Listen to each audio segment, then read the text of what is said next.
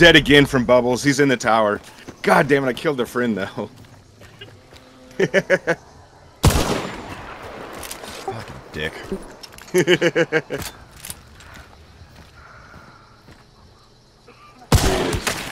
nice shot. That was a beautiful shot, dude. Two of them